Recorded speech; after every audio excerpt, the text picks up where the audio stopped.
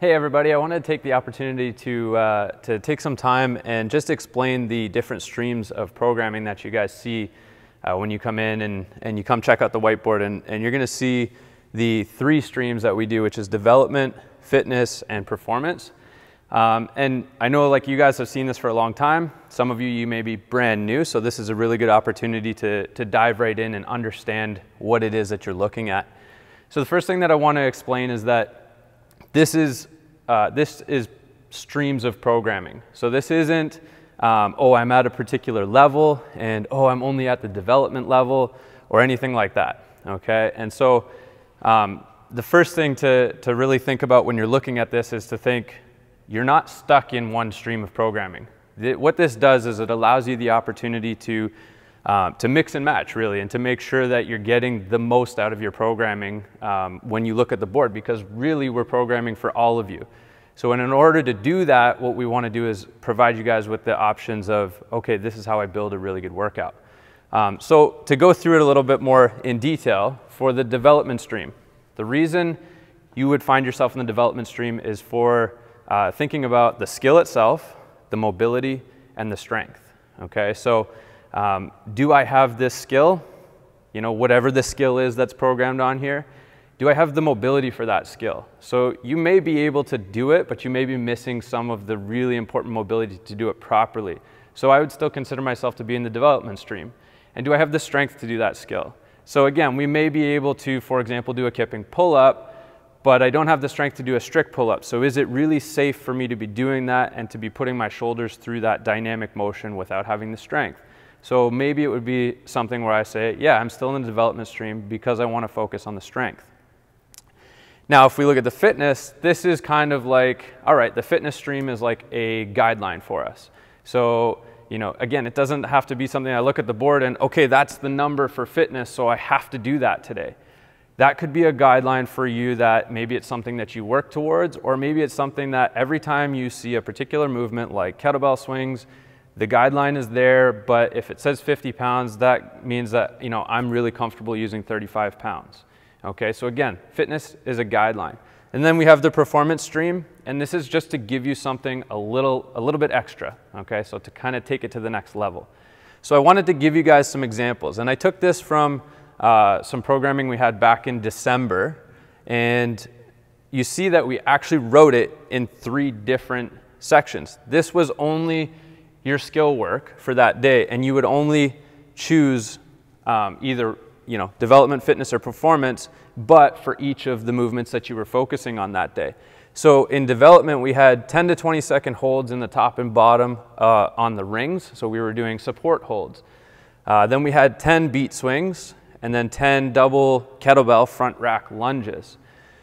So then in fitness, we had 10 ring dips, three to five times through one pull up plus one toe to bar, and then 10 pistols. And then performance, three to six muscle ups, and then five to seven times through that same complex of pull up plus toes to bar.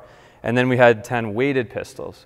So if we were to actually look at this in, we have three different skills that we're looking at here.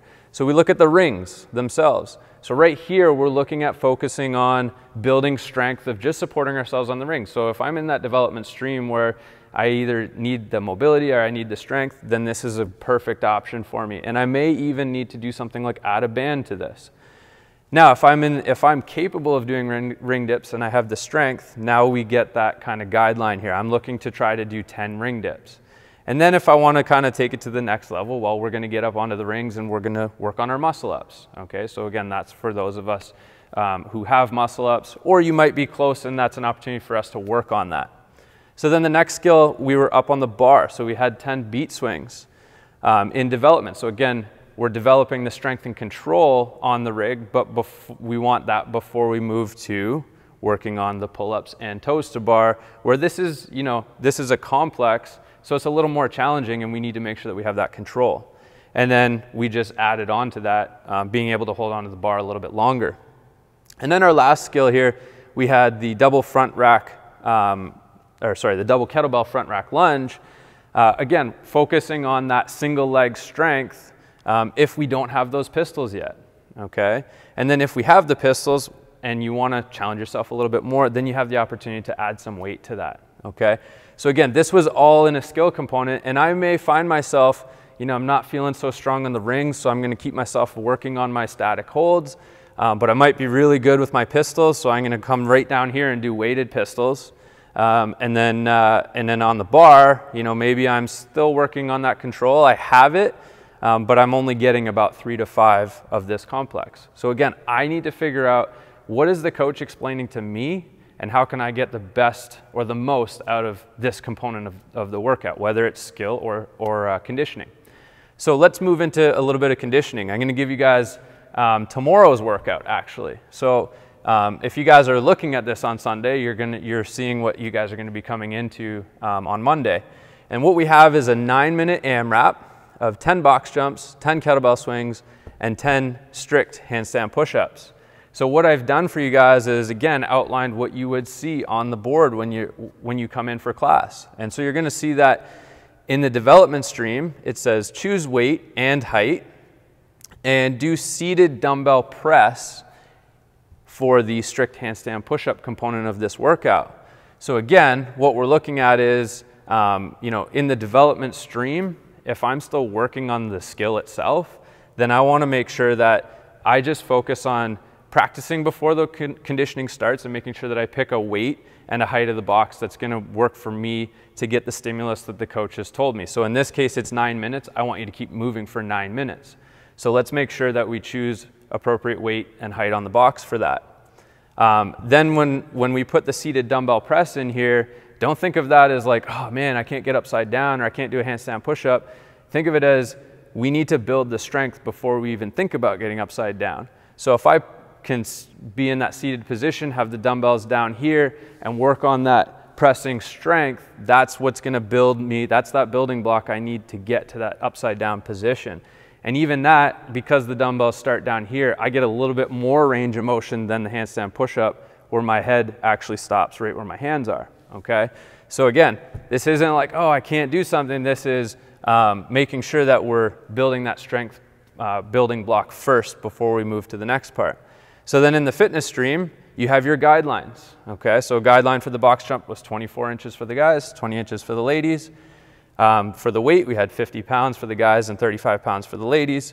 And then in the handstand push-ups, we have that you can do either a pike handstand push-up or a regular handstand push-up. Both of these are good options, but you have to be smart about what your capability is based on, again, moving for nine minutes.